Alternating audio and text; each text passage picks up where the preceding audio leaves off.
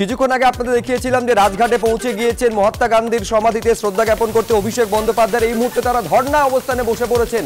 অভিষেক বন্দ্যোপাধ্যায়কে আপনারা দেখতে পাচ্ছেন, তার পাশে কল্যাণ বন্দ্যোপাধ্যায়কে দেখতে পাচ্ছেন, ফলে তৃণমূলের যারা মন্ত্রী রয়েছেন, সাংসদ রয়েছেন বিধায়ক রয়েছেন, তারা কিন্তু ইতিমধ্যে ধর্ণা আন্দোলন শুরু করেছেন রাজঘাটে। সরাসরি যাব, কথা বলব আমাদের প্রতিনিধি কৃষ্ণেন্দু, অধিকারীর সঙ্গে। কৃষ্ণেন্দু সেই ছবি আমরা দেখাচ্ছিলাম। দর্শকদের যে ধর্ণা আন্দোলনে বসে পড়েছেন, কিন্তু সেই আন্দোলন ধর্নায় থাকার অনুমতি কি পুলিশের তরফে পাওয়া গেছে? কারণ তোমার পেছনে পুলিশের পুলিশের ছয় লাভ এই ছবি আমরা দেখতে পাচ্ছি কৃষ্ণেন্দু।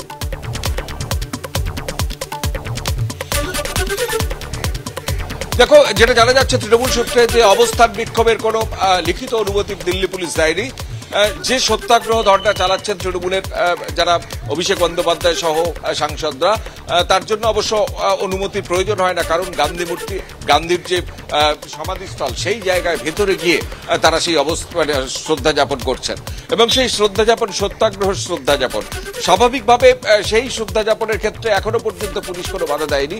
কিন্তু যে পুলিশি ব্যবস্থা মোতায়েন করে রাখা হয়েছে যে রাজঘাটের ঠিক বাইরে আমি ক্যামেরা পার্সন অতনুকে বলব অতনু কুণ্ডুকে সেই ছবিটা দেখাতে যেখানে সিআরপি দিল্লি পুলিশ, দিল্লি পুলিশের র্যাব মানে একাধিক মানে গোটা এলাকাটাকে ঘিরে ফেলা হয়েছে। এবং এখান দিয়ে অভিষেক বন্দ্যোপাধ্যায় ভেতরে ঢুকেছেন। অভিষেক বন্দ্যোপাধ্যায় সহ দলের সাংসদরা ভেতরে ঢুকেছেন মন্ত্রীরা ভেতরে ঢুকেছেন। অনেক তৃণমূলের নেতা কর্মী যারা আছেন বা বিধায়ক আছেন, তারা অন্যান্য গেট দিয়ে ঢুকেছেন।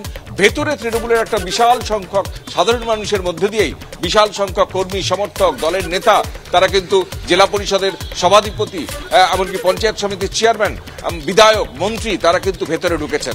সাধারণ মানুষের মধ্য দিয়ে ভেতরে ঢুকেছেন। এই গেটটা অবশ্য ভিআইপি গেট এখান দিয়েই সকালে রাষ্ট্রপতি, প্রধানমন্ত্রী ঢুকেছেন শ্রদ্ধা জানাতে। এবং তারপর অভিষেক বন্দ্যোপাধ্যায় সহ সুদীপ বন্দ্যোপাধ্যায়, কল্যাণ বন্দ্যোপাধ্যায় ডেরেক ওব্রায়ন সহ তৃণমূলের একাধিক সাংসদ, একাধিক বিধায়ক, একাধিক মন্ত্রী তারা এখানে ভেতরে ঢুকে সত্যাগ্রহ আন্দোলন করছেন। কিন্তু এখনও পর্যন্ত পুলিশের তরফে সেই সত্যাগ্রহ আন্দোলন নিয়ে কোনো কোনো রকম বাধা দেওয়া হয়নি।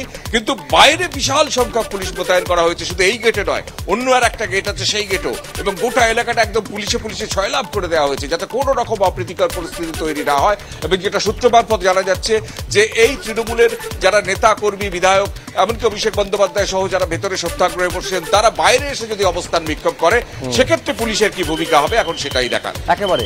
তুমি আমাদের সঙ্গে থাকো অর্থাৎ এখনও পর্যন্ত সেইভাবে বাধা দান পুলিশের তরফে লক্ষ্য করা যায়নি। এই রাজঘাটের বাইরে পুলিশি বন্দোবস্ত ব্যাপক পুলিশি বন্দোবস্ত সেইটা কিন্তু লক্ষ্য করা যাচ্ছে। কোনোভাবে এই যে সত্যাগ্রহ বা অবস্থান কর্মসূচি সেটা যদি বাইরে আসে বা ধর্ণা হয় সেক্ষেত্রে পুলিশের তরফে বাধা দেওয়া হতে পারে বলে মনে করা হচ্ছে।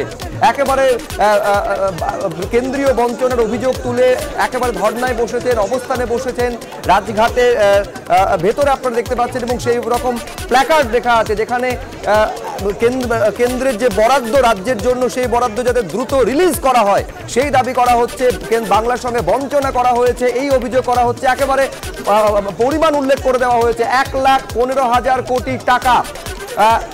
সেই পরিমাণ টাকা কিন্তু রিলিজ করতে হবে দ্রুত। কেন্দ্রীয় বঞ্চনার শিকার হচ্ছে পশ্চিমবঙ্গ। এই রকম অভিযোগ করা হচ্ছে এবং সেই অভিযোগে একেবারে যারা দেখতে পাচ্ছেন চন্দ্রিমা ভট্টাচার্য থেকে শুরু করে শান্তনু সেন কল্যাণ বন্দ্যোপাধ্যায় সৌগত রায়, সকলে তারা বসে রয়েছেন এই এই এই এই দাবিকে সামনে রেখে। এখন কতক্ষণ তাদের এই অবস্থান কর্মসূচি চলে? কারণ, তার কারণ বিকেল একটা গুরুত্বপূর্ণ বৈঠক রয়েছে তৃণমূল কংগ্রেসের।